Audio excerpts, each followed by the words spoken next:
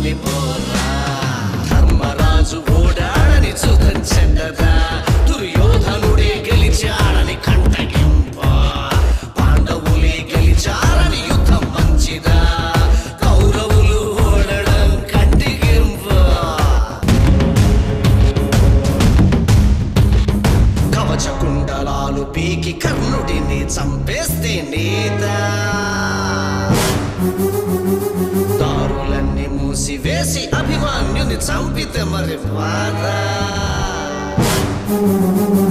గోపికల చీరలను చేస్తే గోపాలుడి లీలా.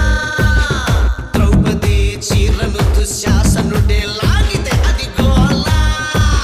సీతను తాకని రావణుణ్ణి ఎందుకు రాక్షసుడంటారు? అహల్యను చెరిచిన ఇంద్రుడిని ఎందుకు దేవత అంటారు? తల్లిని నరికిన పరశురాముడవతార మూర్తముట ఇదేమిటని అడిగిన వాడిని చెడ్డంటారు? పట్టుకున్న దాన్ని వదిలి లక్ష్మణుడు నడిచాడు అన్నవంట. అన్ననే సుగ్రీవుడు ఏలాడు కిష్కింద్రా